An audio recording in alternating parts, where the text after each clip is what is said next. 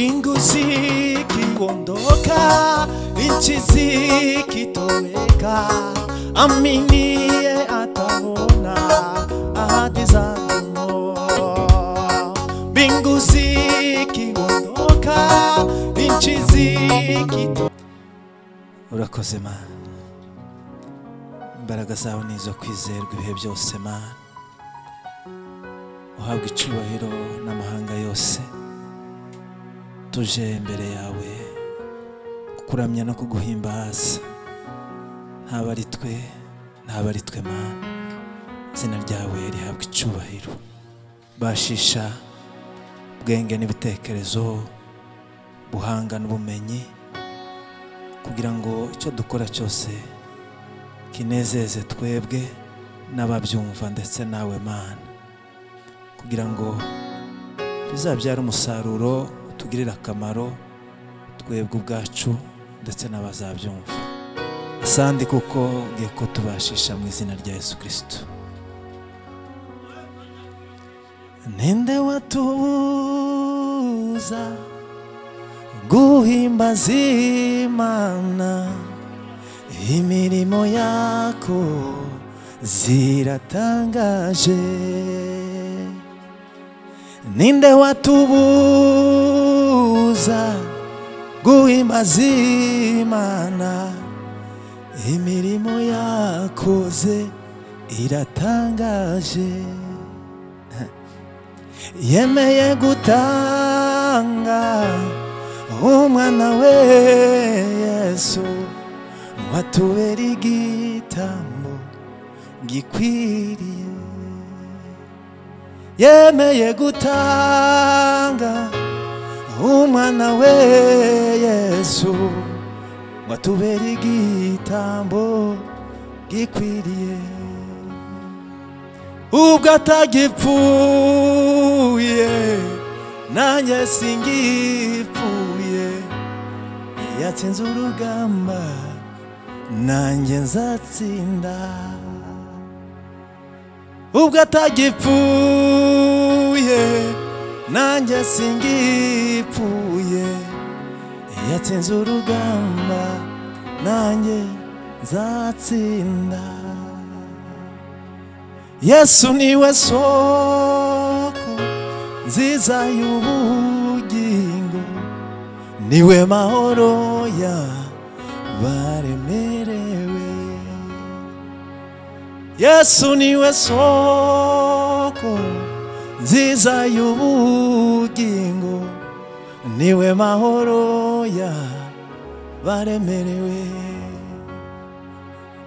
Yangiza umutambyi mu bwami bw'ijuru yangira igisonga cy'umugami bwe.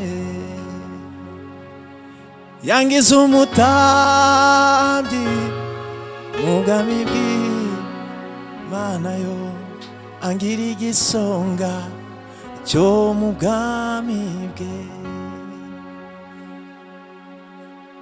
haleluya nimuze duhimbaze iryo zina. Nimuze dusingize iryo zina.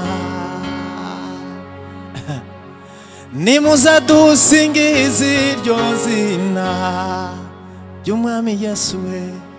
Nimuze dusingize iryo zina. Eh. nimuze mwese amanga yose. Dushime yesu waducunguye nimuze dusingize iryo zina. Nimuze mwese amahanga yose dushime yesu waducunguye.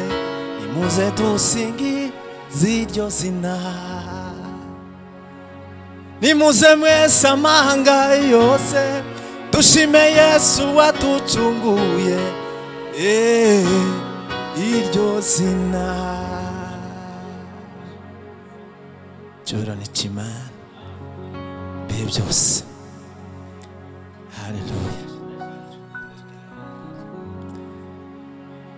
Haleluya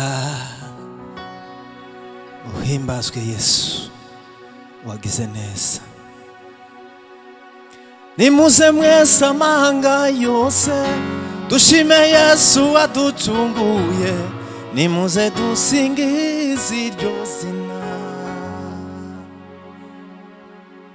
nimuze dusingize iryo zina. Eh, eh, iryo zina.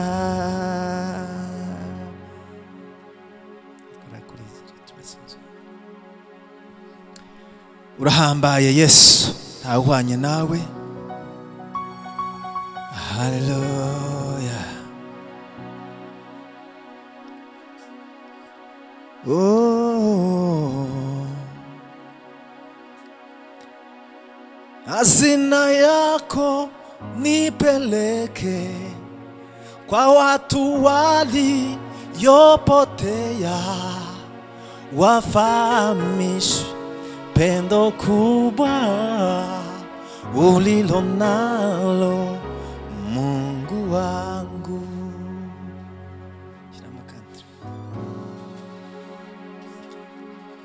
Hazina yako nipeleke kwa watu waliopotea,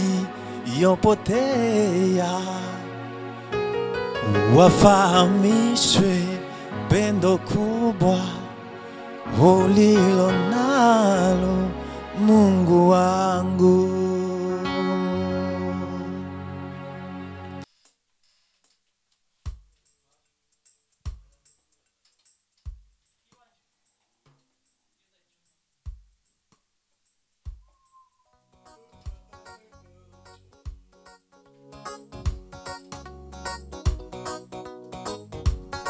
Yes.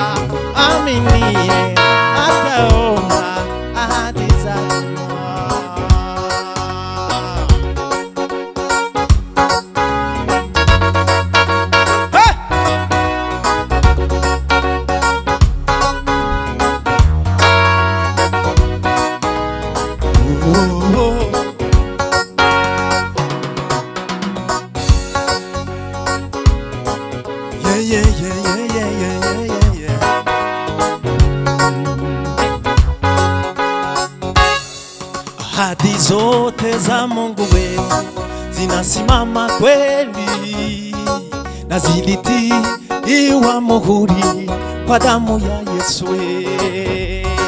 Ahadi zote za Mungu wetu zinasimama kweli na zilitiwa muhuri kwa damu yake Yesu. Ah, mbingu zikiondoka, nchi zikitoweka,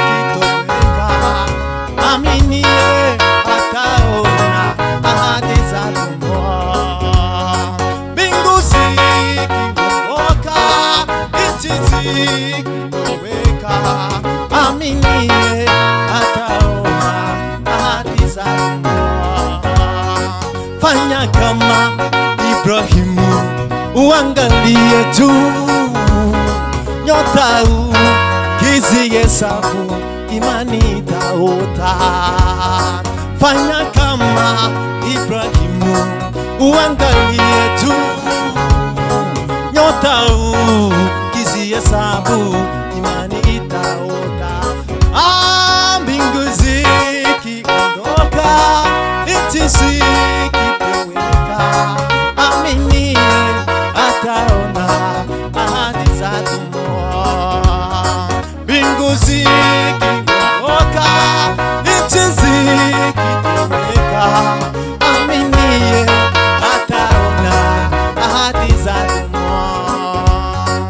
katika giza njiani tutaamini tu.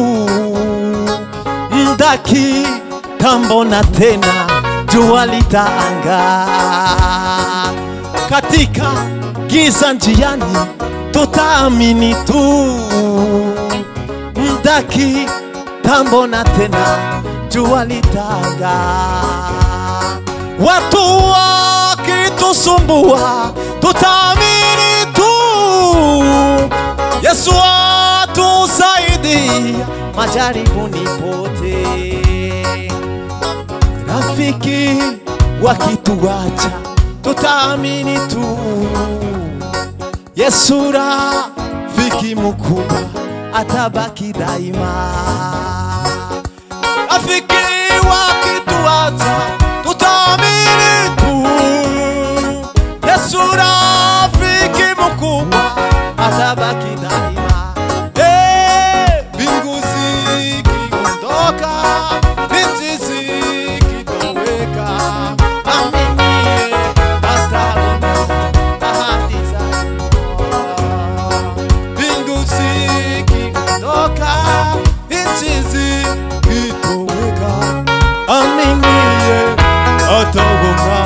ahadi zandu seben.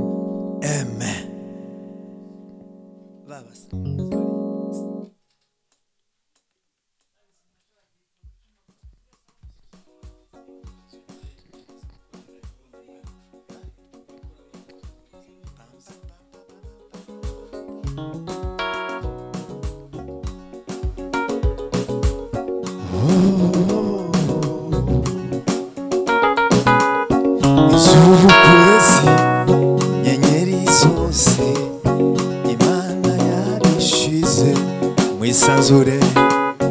Iz'ubukwezi nyenyeri zose imana yabishize mu isanzure. Inyenyeri n'ukwezi ayehe imana yabishize mu isanzure iz'ubukwezi nyenyeri zose. Imana yabishize mu isanzure iz'ubukwezi nyenyeri zose. Imana yabishize mu isanzure iz'ubukwezi nyenyeri zose. Imana yabishize mu isanzure inyenyeri n'ukwezi nyenyeri zose we. Imana yabishize mu isanzure ubuzima bw'ibimera byose. Imana yabishize mu butaka. Ubuzima bw'ibimera ibimera byose. Imana yabishize mu butaka. Ubuzima bw'umwana umwana w'umuntu uri mu mana nta mana nta buzima. Ubuzima bw'umwana w'umuntu we biri mu mana nta mana nta buzima. Nundeke we nundekure mana we kuzima sinabaho ntuneke ntunekure mana we. Nagufite na buzima sinabaho ntundeke we ntunekure mana we. Nagufite na buzima sinabaho ntundeke ntunekure mana we. Ufite nta buzima nundeke we nundekure mana we. Ntabwo ufite nta buzima sinabaho nundeke nundekure mana we. Ntabwo ufite sinabaho urakomeye kandi mana tutagufite nta buzima twogira. reka tuvuge ngo mu gihugu cya usi habaga umugabo witwa yobu. Yubahaga imana akirinda ibibi kandi yahawe umugisha n'imana. By'ukuri reka